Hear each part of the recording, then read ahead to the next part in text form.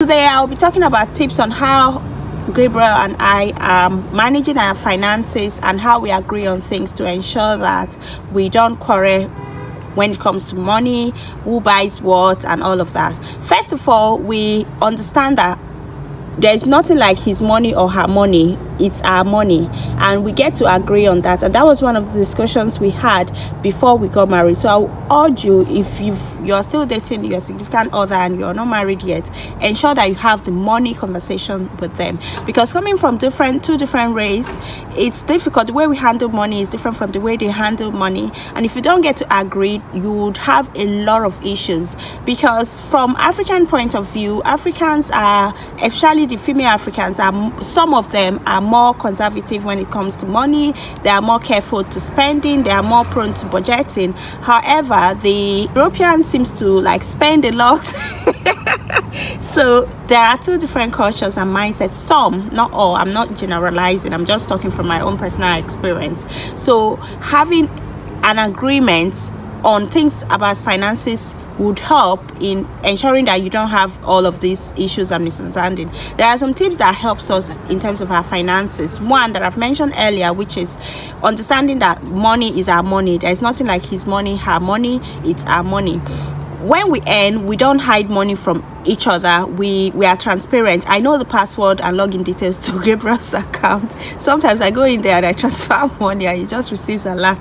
So but he understands that whatever money i'm taking is for things that we've agreed for. So first of all we are very transparent when it comes to money. I know his password and all of that.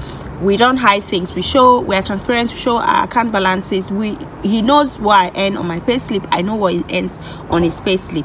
And the second thing is we budget together. We understand that two, two of us are different. One person is more conservatory when it comes to spending and one person is all out there can buy the whole world we understand that we all have our differences and our weaknesses so we ensure that the person that is more conservative when it comes to money manage the budget like oversees the budget.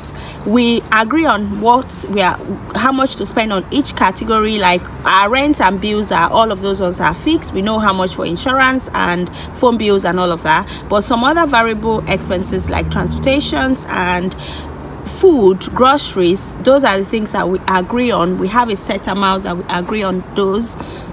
For example our food budget if we've had if we agreed on something the person that is more conservatory would monitor the budget. And if we are already in week two and we are spent we've spent 70 percent of our budget that person that monitors the budget will, will raise a red flag that can we be mindful? We already we've spent 75 percent of budget and we are just 50 percent into the month. That means we'll cut down on things. We'll try to go into we'll shop from ourselves. So rather than going to buy things for example if we've run out of pasta rather than going to buy pasta if we have rice if we have yam if we had other things beans can we eat shop what we have and try to use that instead of going back to buy pasta? Same for other things. So we try to utilize things we already have. If we are running over closer to uh, the budget of our grocery.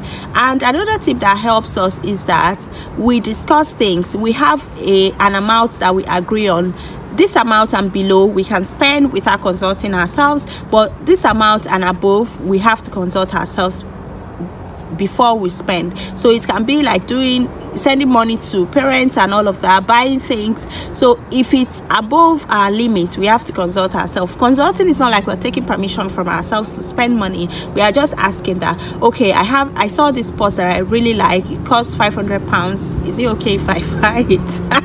And then we'll discuss it. Is it really necessary? Do you just the is it do you have another purse or is it necessary? So we just have a discussions around it. Another thing that helps us in managing our budget is that we tend to see look look out for ways we can cut down on expenses. For example instead of going we like go doing day trips and all of that. So instead of booking hotel for like five nights we'll, we'll look at other alternative places. Like we like going to the beach for example. And instead of going booking hotel going on vacation for a beach that is far away that will require us booking hotel and all of that we'll look at cities closer to us. That is like two hours drive one hour drive that we can drive there early in the morning. Would enjoy the beach as much as possible take a lot of pictures take a lot of videos and come back. So that means we are only spending money on diesel. We are not spending money on hotel and all, all of that additional cost. And you know when you're lodging in hotel you also spend money on food and all of that. So we try to look for alternative cheaper ways of um, not spending money. Another thing that helps us in managing our budget and finances is that we look for alternative. Instead of going to restaurants, we go to restaurants once in a while, but instead of going to restaurants every other day, we look out for we like cooking. In fact, I can't remember the last time I cooked, but Gabriel cooks a lot. So we look at ways that he can cook we can go to shopping to the uh, grocery store buy a lot of the recipe and he will cook the delicious meal we enjoy we have date night so we have less of going to restaurant to eat. We eat more at home. We do our date night dramatic date night. We dress up for the dates but would do it at home which costs us less another thing is we try to see movies at home as well. We still go out to movies but not often. We can go out to movies like once in a month or once in two months or not so often. Sometimes we have we make our popcorn and we have our movies. We enjoy our company. Sometimes we also host friends. We go out for shopping. We can go to friends place to cook or we invite them over to our place and cook for them. So that that way we are spending time together. We're doing all of the things we like but we are not spending as much money as possible another thing is we understand our needs and our wants. Our needs obviously is shelter food and all of those necessities. Our wants are buying extra new pair of sneakers every other month buying new pair of jackets every week. So we try as much as possible not to spend every week on wants. For example we have a lot of nice clothes we have a lot of nice t-shirts sneakers and all of that jacket. We don't need to buy all of those every month. We try to cut down on spending on how often we spend on our wants and we also review our budget monthly. So for example if because sometimes creating a budget is important but tracking your budget to ensure that you're not exceeding your budget is something that is also very very important. Every month we track our finances. One of us the one that is more conservatory is the one that is more into finances checking how much have we spent is what did we spend on was that even necessary? Sometimes if you watch some of our vlog we notice that when we are trying to buy something one person will be saying why do we need to buy this thing? Is it necessary? So the person is just doing the normal checks in ensuring that we are not overspending.